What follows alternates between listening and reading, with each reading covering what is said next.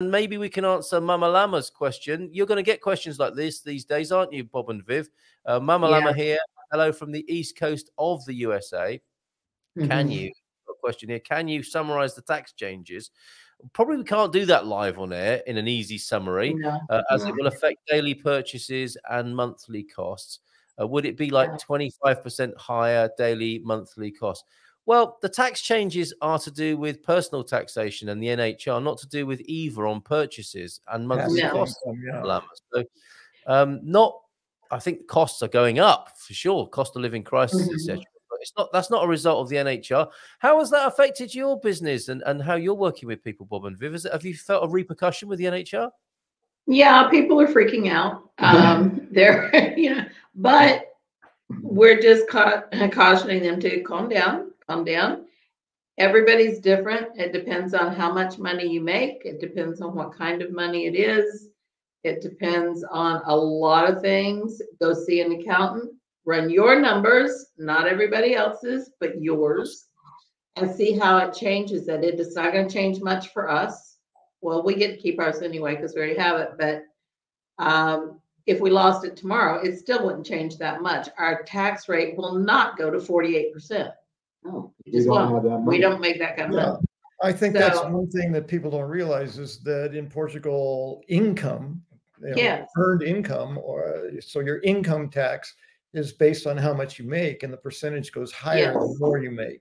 So it yes. goes from I think as low as 15% up to 40, depending on right. how much you're making. And I think a lot of people right. don't understand that. They don't understand that. And there's a lot of misinformation out there. It makes me crazy because everybody says, oh, it's going to 48.5% no matter who you are. It's like, no, it isn't. It isn't. Yeah.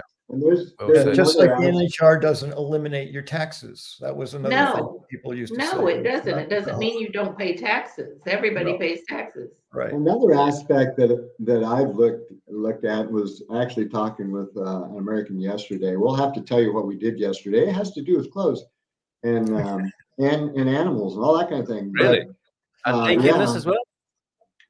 Pardon? The animals were naked. Yes. Yes. Yes. They were. Carry on. But, um, people in the United States don't.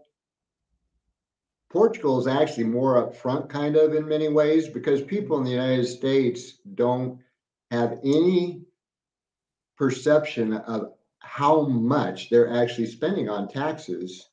And yeah. um, a few years ago, you didn't earn any money for yourself until mid to late May and I don't know where it's at now. It all went to taxes And- until that point. Yeah, and so people, because of the VAT here, they they think all things are sky high, but it's all included in the price. So it's it it, it goes back to many things with uh, mindful migration. Is is um, your perception may not be the reality, Yeah. and you can skew you can skew anything you want, you know.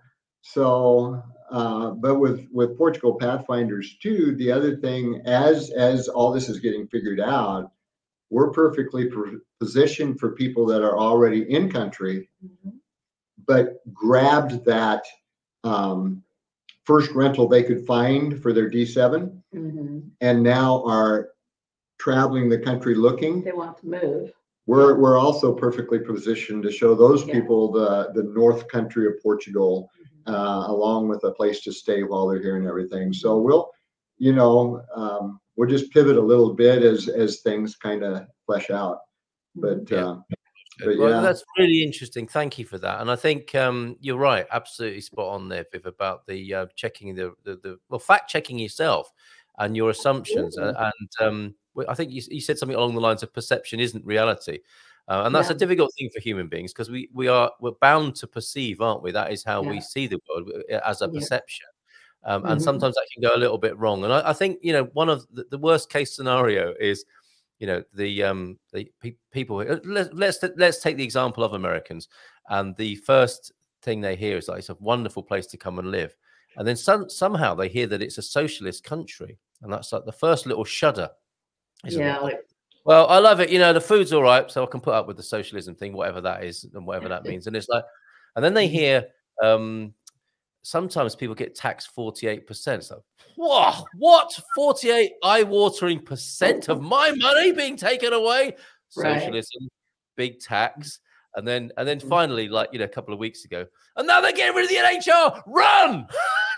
it's like, I ah! don't even know what it Live is. your life. but It's a bad thing. That's Yeah, right. don't go to Portugal. That's right. Get away from me, Portugal! How dare Yes. you? Yes. and all of those things are sort Mm-hmm. of perceptive problems, aren't they? And as you say, it's progressive tax. Uh, the NHR got to mean something which didn't mean anyway. It was always going to end after 10 years. And Right. you understand the nuance of socialism here in Portugal. I'm not making Right. it saying it's good or bad. I'm just saying it is probably different to how you might have perceived it or been brought up to view, to view the word itself. So yeah, that's that's it's so true, Viv. What you say. A lot of what's gone on is just a challenge Mhm. to people's perceptions. It's I guess Yeah. it's perception um fueled by emotion, isn't it? And then we know we're in It trouble. is. It's all emotional. And it's it's oh God, I had it, now they're taking it away from me.